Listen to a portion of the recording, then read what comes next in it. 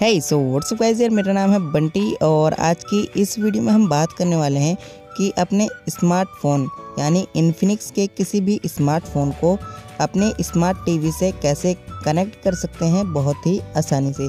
तो चलिए यार, वीडियो को शुरू करते हैं। दोस्तों, वीडियो शुरू करने से पहले मैं आपको बता दूँ, अगर अभी तक आपने हमारे यूट्यूब चैनल टैग बंटी को सब्सक्राइब नहीं किया है तो जल्दी से यार चैनल को सब्सक्राइब कर लीजिए बेल आइकन को दबाना मत भूलिएगा। तो चलिए यार, वीडियो शुरू करते हैं।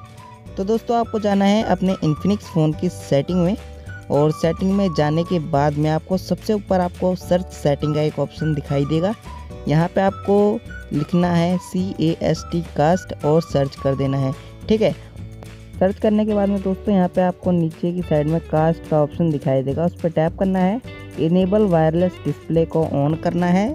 थ्री डॉट्स जो आपको दिख रहे हैं, उस पर दबा के इनेबल वायरलेस डिस्प्ले कर देना है ऑन और उसके बाद में अपने वाईफाई को ऑन कर देना है।